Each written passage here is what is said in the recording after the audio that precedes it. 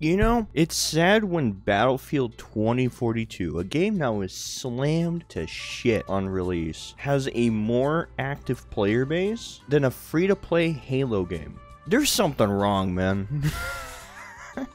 As some of you may have already known, the wonderful heads at 343 decided to release a video, a very stellar video, talking about the updates of Halo Infinite. Holy shit. Is it the funniest news I've seen in a while? Now, I'm someone that actually kind of was looking forward to Halo Infinite a year ago. And then it came out, and the campaign sucked. I was like, I'll just wait for co-op. I guess I have to wait until fucking March.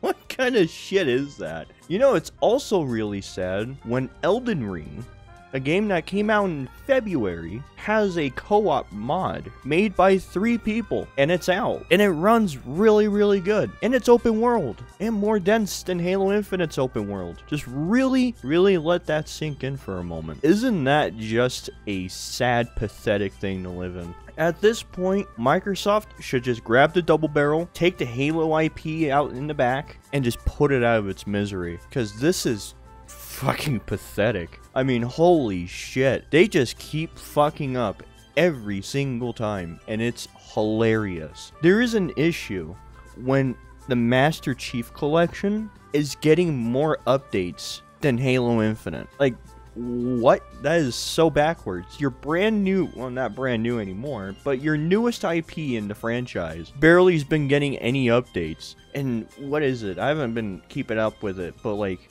the last season came out with two maps, and now you're gonna have to wait until March for another two maps and another gun. Just goddamn. What happened to that whole plan of like, yeah, every three months we'll have a new season?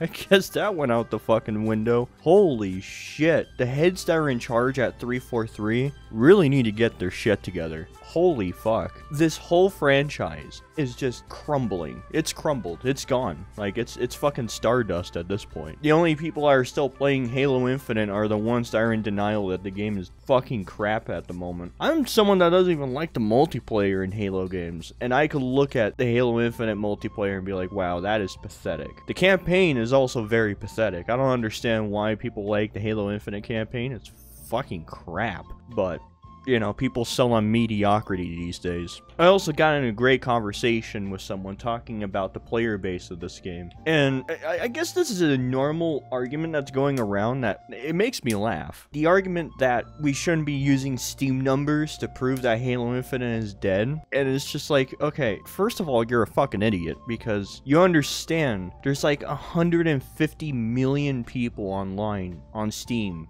daily, right? And it's a free to play game. Why would I go to Game Pass for a free to play game. Oh, for the campaign? Most people that played the campaign, I can guarantee you did the exact same thing I did. Those 150 million people probably bought Game Pass for $1 for 3 months when the game launched. Played it maybe for the first week and then just noticed it was dog shit and left. And then probably went back to multiplayer for a little bit and even noticed that was even dog shit and left. Just Microsoft, if you are listening to this, which I doubt it, but I'm gonna do it anyways. Put the franchise to bed. Just just shoot it down, okay? Don't don't do anything else.